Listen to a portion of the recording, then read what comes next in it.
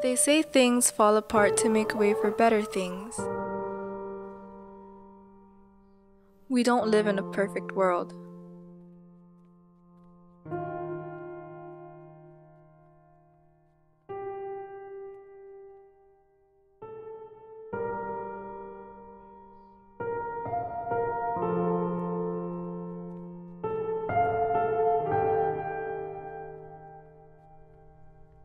We have moments where we face challenges, ones that knock us down and remind us that life isn't easy.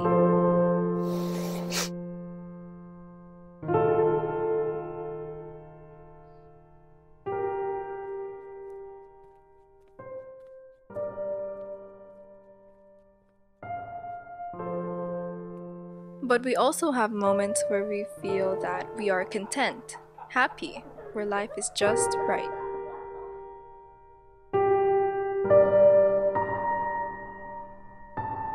However, there are some things we just can't control.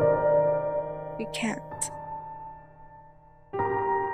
South of where the storm ends up. It's called Yutu, and again, it's strengthening as we speak. Usually, when storms get into these waters in this part of the planet, uh, they do tend to strengthen a lot. And here's the latest forecast. You can see as it passes through some of those Mariana Islands, um, it's going to be pretty strong. It's going to be a lot stronger than it is right now, probably at least a Category 3.